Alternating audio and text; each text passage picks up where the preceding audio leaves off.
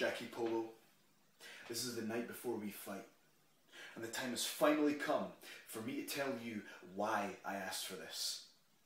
This year, Jackie, I've had a lot of opportunities and I've made a lot of brash claims.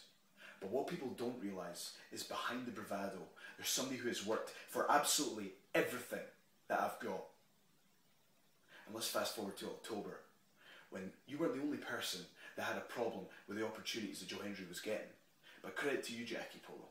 You were the only one who had the balls to walk up to Joe Hendry, kick me in the stomach, and throw me down a set of stairs. But credit to you for that.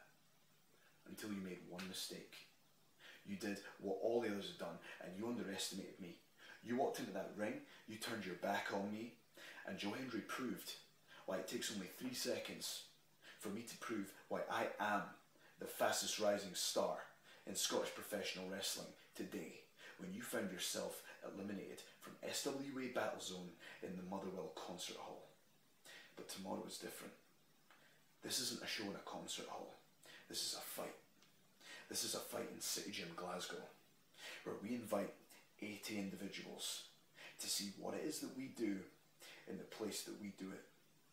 The place where SWA builds the stars of tomorrow. So for one night, and one night only, let's put the bravado to the side, let's put the ego to the side, and let's do what SWA does best professional wrestling. All they need to know is you've got a problem with me, and I've got a problem with you.